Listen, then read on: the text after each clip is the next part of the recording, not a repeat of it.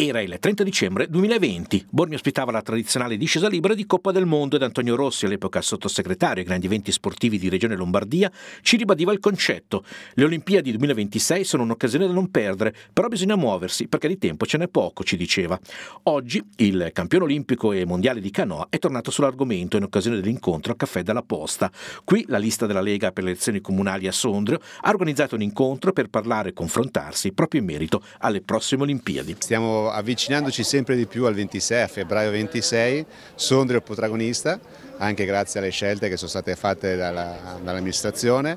E ci sono tanti eventi da qui al 26 che coinvolgono Sondrio, penso ai mondiali master eh, invernali eh, dove arriveranno eh, più di 10.000 atleti eh, da tutto il mondo e, e, e, Sondrio è la capitale. Albosaggi ha appena dedicato una via a Mario Cotelli, il papà della valanga azzurra. Parlando di sci, il pensiero e la gratitudine non può che andare a questo grande sondrese. In fondo, oltre che una via, si potrebbe dedicare a Cotelli anche una pista delle prossime Olimpiadi. Per quello che ha fatto per, per lo sci, assolutamente penso che sia, sia fattibile.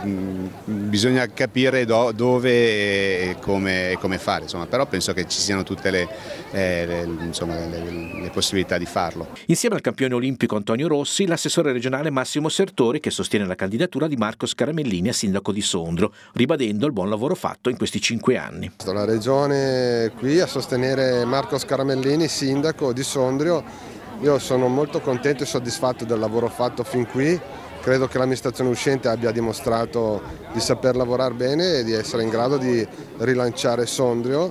Le Olimpiadi del 2026 rappresentano dunque una grande opportunità anche per la città di Sondro e per la Valtellina nel suo complesso. Oggi, come ogni campagna elettorale che si rispetti, più si avvicina la data, più scendono in campo i big aveva rotto il ghiaccio Fratelli d'Italia portando a Sondro il ministro dello sport e delle politiche giovanili Andrea Bodi. Ora tocca anche ai parlamentari europei. È un centrodestra unito a sostegno di Scalamellini sindaco, una rappresentanza importante con me, Chiara Valcepina, consigliere regionale di Fratelli d'Italia per dare ancora più forza al nostro partito e quindi all'intera coalizione, il messaggio di buon governo nel centrodestra dal livello locale fino al governo Meloni a Roma. I temi di questa tornata elettorale sono un doppio filo che unisce Regione alla città capoluogo. Chiara Valcepina sottolinea con orgoglio le sue origini valtellinesi. Io sono originaria di Cepina, il papà, ma io ho vissuto a Bormio tanti anni sono stata eletta però in provincia di Milano dove svolgo la mia attività lavorativa di avvocato. Siamo qui a testimoniare la presenza, la vicinanza e il supporto